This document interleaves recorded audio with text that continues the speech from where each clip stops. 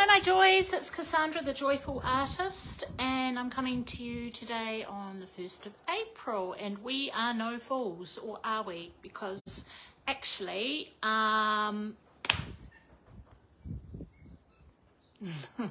um, because actually, I was just reading a message because a couple of two lovely ladies have just contacted me to come along to my six week uh, art course, art classes that's going to be starting after Easter. So I'm super excited about that. Got six lovely, lovely ladies that are coming along, and um, we're going to have a lot of fun. I just have so much um, have so much fun in the um, well one of the ladies called it a portal in here and I was listening to some astrology readings last night during uh, the night and it was all around how it's so significant that Saturn has moved into Pisces and to look up where Pisces is in your astrological chart so those of you that have been following me for a while now will know I like to find inspiration all sorts of places. And um, Linda, Linda, I still, hello Linda. I love seeing your posts on social media and I would love to know if you are painting. So do feel free to comment um, or reach out to me. I hope you're painting. I was thinking of you the other day, this whole action painting. Um, I think you might really love the work of um, of uh, Joan Mitchell, who I'm really loving at the moment and really inspired by.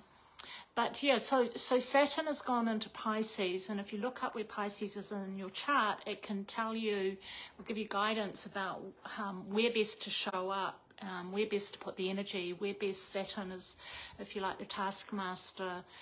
Um, I mean, I'm a novice astrologer. You'll get better guidance from other people, but but I'm just relaying what I've learned and it's very much about um, being structured and disciplined in a good way, like a disciple of, like in a good way. And of course, Pisces is the realm of the mystic, um, the spiritual realm, the um, deeply um, beautiful, sort of watery, feminine, fluid energies. So, Saturn and Pisces in my chart is actually in the seventh house, which is around creativity and connection. And um, Laurie was saying to me that um, this is like my church. The gallery is like my church. It's my cathedral. It's where I come to pray, seek guidance, meditate, all those things I do through my work, put spiritual energy into my paintings. I made a commitment during the whole um, COVID thing to show up for joy, to show up for love, and it's really fortified me and kept me sane and it's sort of um, I guess you could say it's been my therapist uh, painting has been my therapist. So sometimes like Joan Mitchell it's why Linda I think you'll love Joan Mitchell because she had a lot of anger and rage and um, she found that painting was akin to therapy for her too.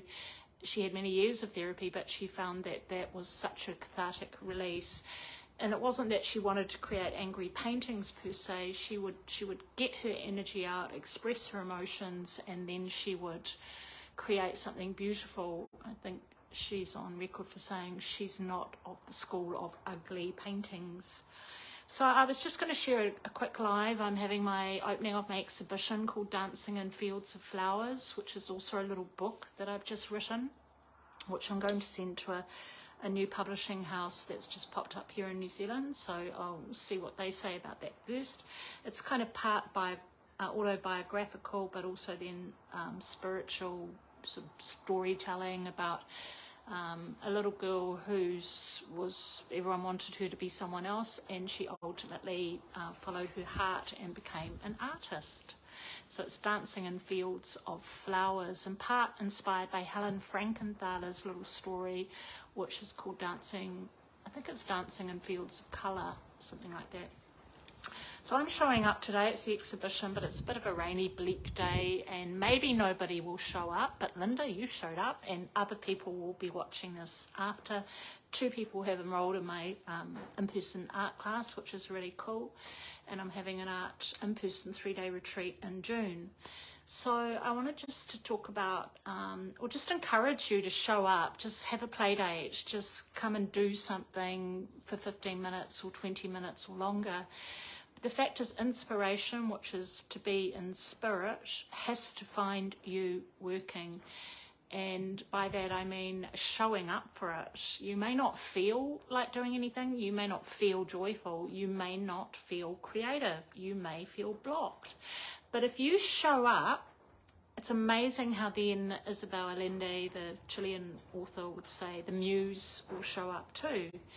So I've come down to the studio. I thought I'm still putting my signs out. I'm still saying I'm open. I'll just spin you around. You can see it's autumn, I think, here now, and we've had a really miserable cyclone, flooded, horrible summer. So it's a bit of a short summer for us, but this is what the weather's like today. So it's a bit grey and a bit blah, and but if you look, the light is incredible. The light is incredible. And that's what a lot of spiritual teachers are saying. There's a lot of light on the planet at the moment, and we're all going through quite a sort of a cosmic uplift. So this painting here, what I did is I thought, well, I can come down and I can just do a few things today, and even if nobody comes, I'm here, and I'm giving my paintings some love. And this one here has got a few little gold leaf little spots in it and uh, it's inspired by some flowers that a lovely Texan man, a Texan man gave to me. And hey, Hannah Joy, he came into the came to visit the house and he gifted me a bunch of flowers. You may remember I mentioned the story before. He came with his mother-in-law. Um, they were interested in potentially purchasing our property, and they still are. We're not on the market, but. Um, we believe in flow, so if they decide in June when they're ready to purchase, that may or may not be something that we look at. Um, and they gifted me a bunch of flowers to say thank you for making their little children who were like six and seven um, feel so special. And so one of the paintings inspired by this bunch of flowers I called Feeling Special and I just sent that off to an art exhibition or an art award, uh, which is in Hawera, Taranaki, where my mum grew up in that region. Um, so I thought that was kind of quite aligned. So I sent that one away, and then I've got these other two, and they're in a really peaceful vibe. I don't. I'm often painting really bright, bright colours. I love the peaceful vibe of this one, and this is the sister piece. So, um, yeah, that's the sister piece, looking up at it closely. This one I have named, I was listening, was it Jack Johnson, and it's called Better When We're Together. And it may well be that these become a diptych, meaning um, I painted them so that they could, see if I can get them both in. Better when we're together. So they would, I reckon they would look really cool um, in the bedroom, really re restful and peaceful and just gorgeous. So that one's called Better When We're Together, and I have to think of a name for that in case they're sold um, separately. But I, lo I love that. I wouldn't even mind creating a third piece. Um, I'm quite inspired. Joan Mitchell painted in sort of triptychs, three, and, and none of them was, I believe, they weren't sold separately. She just painted them like that in a series. And so what I've been doing is painting the sides. I like to keep, some people like dark sides, but I've been, when I'm painting, I normally have them taped um, so that it doesn't get all yucky and mucky. And then I have been getting the backs ready, putting um, them ready to hang. So that's what I've been doing here in the gallery today. So it's just a short live. Do let me know if there's something you want me to talk about or share, um, something you're struggling with, something that you'd love some help with. Just, um, but I do encourage you just to show up for a play date. Um, just come down and do something like I did the other day. I thought I'll use up some of the colours and I just did a tiny little painting and I put it in a little, it's on a little piece of watercolour paper. I found a little frame from could be the op shop or something. And um, just a you know a short painting.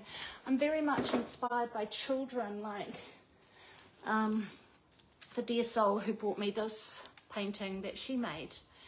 And um, it is called a pink unicorn jumps over a rainbow. Isn't that cute? I love the way she's put little stones in it. So I started to do a few little crystal paintings and put crystals in mine. So children are so inspiring to me and to my art. And of course, many of you will remember this tiny painting that my grandmother Molly made. Whoops, upside down. And my grandfather, Reg Fairweather, he made the frame. And I've just discovered lately, and Hannah, you might want to look into this, there's a very um, famous Scottish artist by the last name of Fairweather. So I don't know if we were related, but that would, I mean, it's not, wouldn't seem to be a very common name. So I'm going to have a good look at that. I always thought I got my art from my grandmother, which I did. She taught me to paint, but maybe there's that lineage on my grandfather's side who used to make amazing furniture called Reg, he's called Reginald Fairweather. Um, I can't recall what the first name is of the Scottish artist Fairweather. So, um, yeah, that's a little, just a little message. Why don't I do a little shuffle from the Art of Life inspiration deck to leave you with something uplifting today um, to encourage you. Lucky you, Layla. I keep calling you Linda, naughty me. Leela, Layla, Leela, just to um, inspire us all. You're going into spring, we're going into autumn or fall. Here is the card, and it is Got to put my glasses on. Yeah, love that. Give happiness and joy to others. Uplifting others boosts your happiness too. Isn't that perfect? So go on, go on and give happiness and joy to others, and that will boost your happiness too. I know, Hannah, you've been doing a coaching session. Uh, Leela, I'd love to know what you've been up to. I really would. Um, we do think of you, Carol and all the crew from the Love, Love, Love course. We definitely are thinking of you all the time. Anyway, much love to you. Let me know if uh, something I can help you with, inspire, encourage. And comment below, what, what did you take away from this video that might be helpful to you? All right, thanks for watching. Love you to bits. Bye.